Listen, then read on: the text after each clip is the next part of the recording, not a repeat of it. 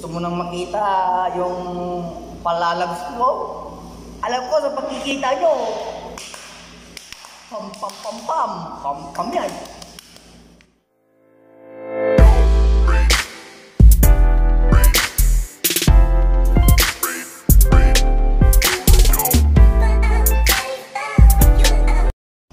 So, what's up mga kamoks? Nandito naman lang tayo. ah, panibagong yugto, panibagong araw, panibagong panimula. Bagong i-upload. So,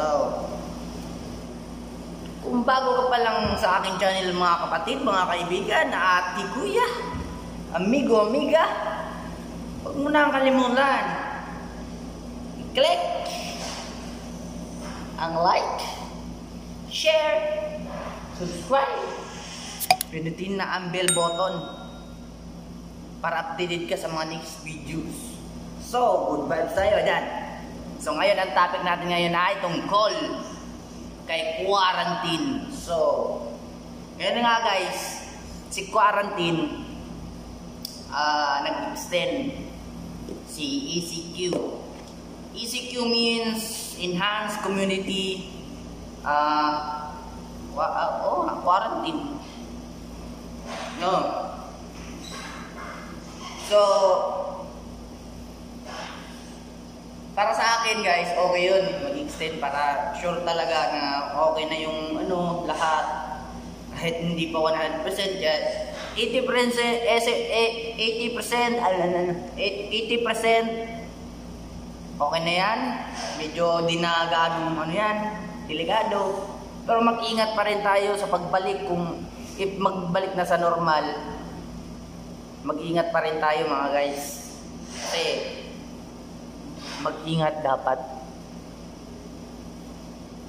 Nga. So, si quarantine ay may dalawang na ay marami na idulot. May goods and may, may bads. So, unahin natin si goods. Luminis ang kapiligiran. Di ba? Kasi wala na ang tao. Yung mga basura. Wala na. Kasi na-minimize na yung mga tao kasi nag-quarantine sa bawat lugar. Then, pustahan tayo. Master mo nang lutuin yung sardinas. Master mo nang lutuin yung itlog. Huwag mo na yung ipagkait kapatid. Kasi, ako, master ko nang lutuin yung itlog. Yung hotdog. Sardinas yung corned beef. Kaya maganda din na idulot si quarantine. Kasi napapag-practicean mo yung cooking skills mo. Oh, cooking skills. What the heck? Ano ba English ako? What the fuck? At, alam nyo ba guys? Alam ko marami nalulungkot.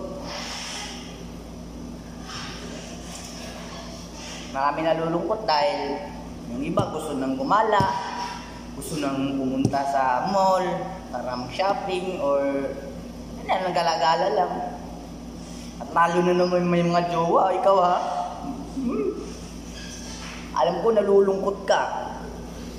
Gusto mo nang makita yung palalabs mo. Alam ko sa pagkikita nyo. Pam pam pam pam. Pam pam yan. Para yung salpukan yan. So, easy lang kayo, magantay kayo. Malapit na. Maging COVID-free na tayo. In Jesus' name. Then, alam nyo ba guys, malungkot ako. Kasi sa tagal-tagal ng quarantine, sa isang, ah, sa halos sa isang buwan, tatlong beses na ako malabas, apat, mamalengke, ganyan. Putik na yan, bu- di ako pumuti. Bumili pa ako ng Kojic. Bumili pa ako ng lotion. Why?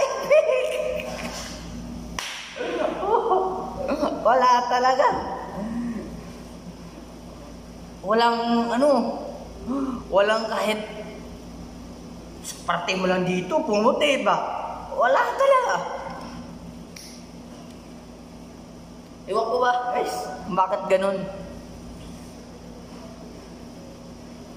Pero, naliligo naman ako araw-araw. Minsan, delay. Isang araw, hindi ako naliligo.